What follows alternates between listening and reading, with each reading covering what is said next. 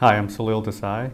I work in Sangeeta Bhatia's lab at the Koch Institute and Mehmet Toner's lab at Massachusetts General Hospital.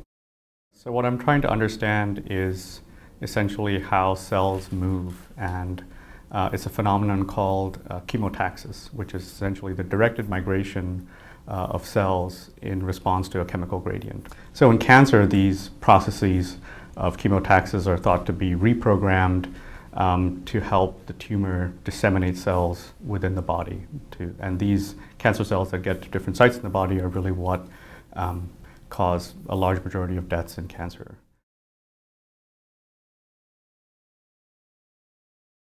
You sort of all know from high school biology that the mitochondria is the, the powerhouse of the cell, so something that is generating the energy.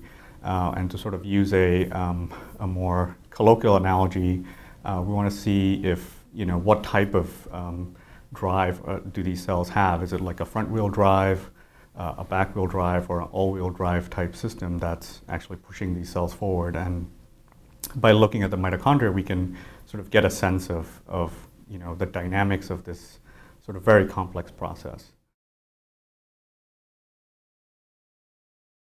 This is sort of a, a way to um, study this process in vitro. So we'd like to build an artificial system that would mimic uh, the conditions in a body, say both in terms of what type of cues the cell would get to um, initiate this process of migration and chemotaxis, and also the confinements that it would see and the challenges that it would face while trying to move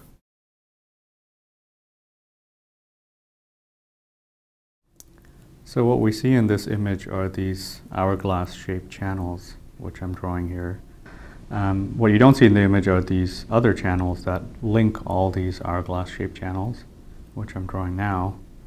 Um, so there's a top and a bottom one.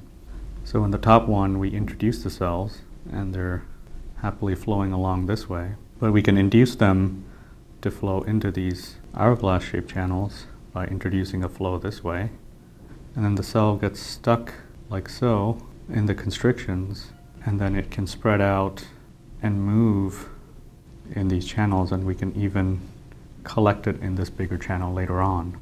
And so what we're looking at is are these little tiny dots that I'm drawing now that are the mitochondria in the cells and we're trying to see how they're spatially localized in the cells as they move. And we're hoping that provides us a window into the fundamental mechanics of migration of the cells.